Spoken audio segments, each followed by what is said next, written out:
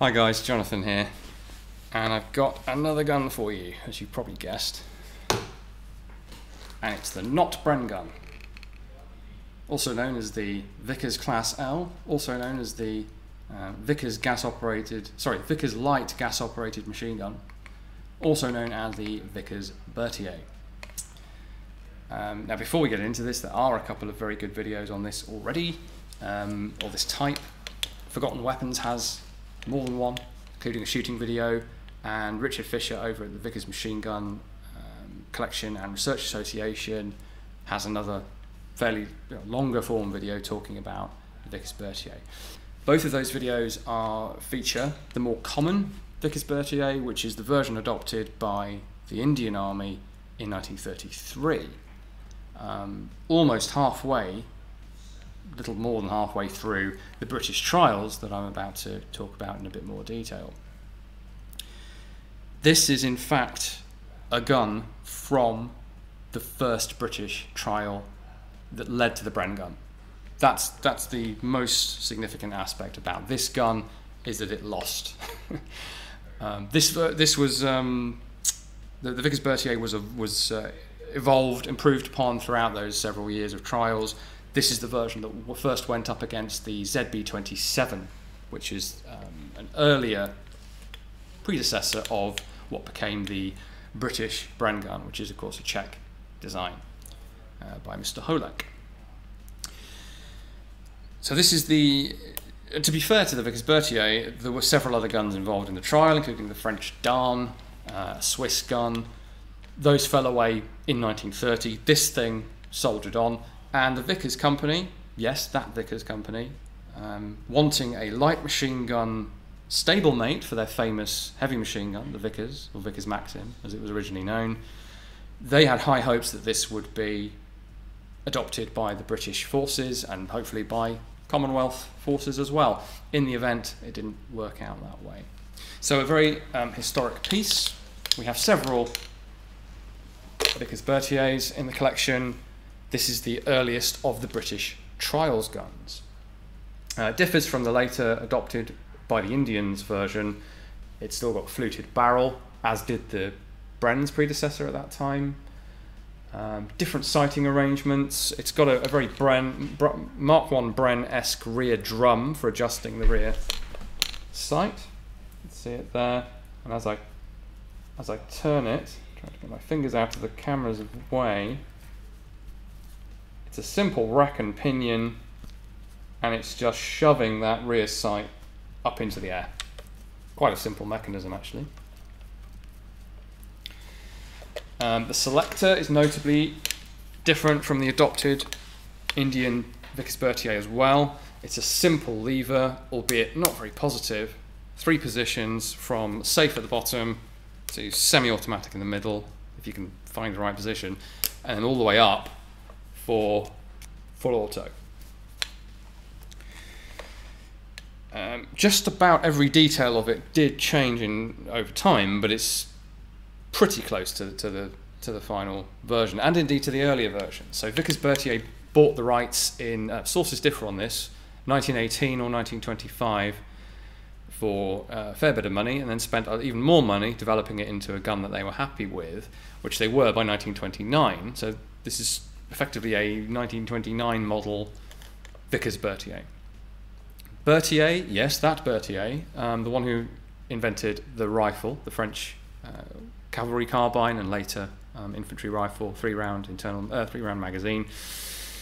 That's him. Um, he went on to design the predecessor of this, and then, as noted, Vickers took it, effectively took it over as a as a commercial thing, and they had a big eye on border ordnance contracts.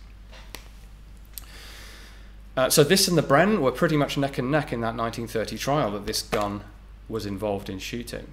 Um, it's always especially fun to be holding a gun that, where you know what it what it did.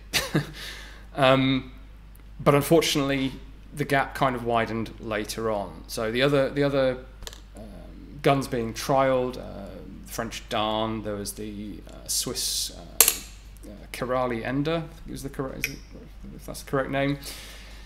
They kind of fell away in 1930, but then we had four years of shoot offs essentially between the Vickers Berthier and the Bren. And of course, we know the result of that. Um, the final big trial, late 1934, was a 50,000 round endurance trial. But it wasn't just endurance, it also it assessed other aspects as well, including accuracy, um, and as well as being found to be less robust than the, I'm going to call it the Bren, because it wasn't called the Bren yet, but it, it's the Bren. So more parts breakages. This was also found to be substantially less accurate on automatic not not hugely worse in terms of accuracy on semi-automatic, although it was a bit worse, but significantly worse. Uh, Two thirds larger group size on average than the uh, than the Bren. Now the Bren um, is almost uh, mythological for being highly accurate. Um, it's not the only machine light machine gun that's capable of, of, of the accuracy that it was capable of, but for the time it was a very accurate light machine gun, and it beat the Vickers Berthier. On that and on reliability, robustness. So, despite the, the apparent failings of the Vickers Berthier and all of the many differences that we, you, you could um, look into on this, they really are quite similar, and it's a bit of convergent design. You know, um, they're both trying to achieve the same thing a lightweight, gas operated light machine gun meaning you don't want belt feed, meaning you want a magazine feed. And if you're going to be firing it from the ground, a top mounted magazine makes sense. If your main customer wants it in 303, which creates a very steep tapered magazine, your magazine ends up steeply tapered, curved rather. Um, gas operation with a long stroke piston, you either have to put the piston on the top or the piston on the bottom, and they both went for the piston on the bottom. You need a flash hider of some kind, so you get a cone on the end. Because of the magazine, the sights have to be offset to the left, so the sights are on the left. And your general configuration ends up being quite similar. Um, it's a little bit like when two Hollywood movies on the same subject come out, and it's usually just a coincidence.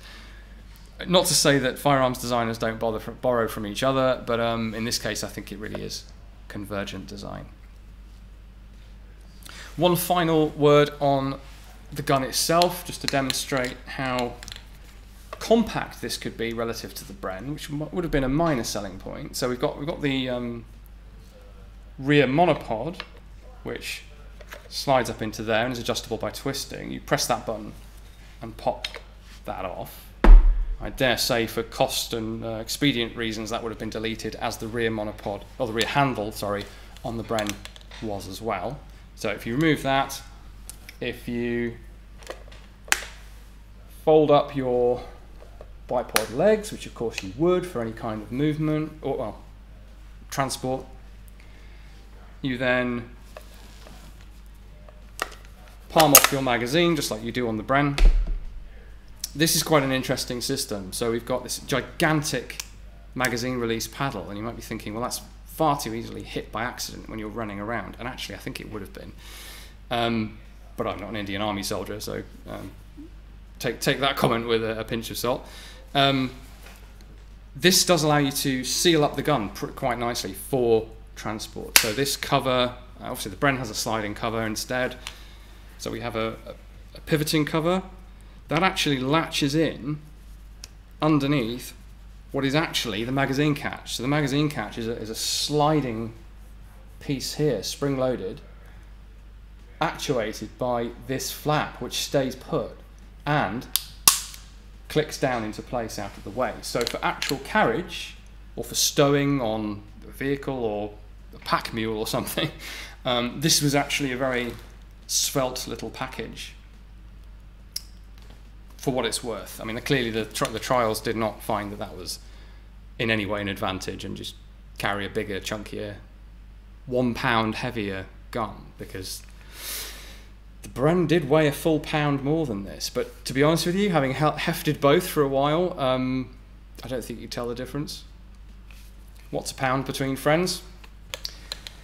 Um, these early the uh, difference Another difference with the early Vickers Berthier that entered as it entered the 1930 trial is this chunky wooden fore end, which was abandoned later on, saves a bit of weight. You don't really need to hold the gun like this unless you're trying to shoot it from the hip or something, which was to be discouraged, although was done with the Bren. But to do that, you would need a carrying handle on, on the barrel, which this also got later on. So this version doesn't have the carrying handle. Uh, it's got the early fluted barrel, the, the ZGB and its predecessors. Uh, sorry, the, the um, ZB, ZB26 had a fluted barrel. That was um, done away with as it was on the Vickers Berthier as a result of the trials process. It didn't, for, with both guns, it didn't reduce the heat enough to be worth the extra cost, basically. So that's another difference. If you look at a, an Indian Vickers Berthier, you'll see a smooth barrel. And of course, the markings differ as well. So instead of the Royal Cipher GRI for Georgius Rex Imperator, um, King George and Emperor of India, essentially, we simply have Vickers Berthier and then the serial number. Now, of course, if this had seen British adoption, it would have received British service markings. So, a, an immediate ancestor of the Indian Vickers Berthier, which is an important Second World War machine gun in its own right, and very significant in terms of British light machine guns and the association with um, the original French version of the gun. So, uh, perhaps a bit of a footnote in the history of Second World War firearms, but a really interesting one, I think. I hope you do too. Thanks for watching, guys. As always, join us again next time for another uh, peek into the stores here at the Royal Armouries.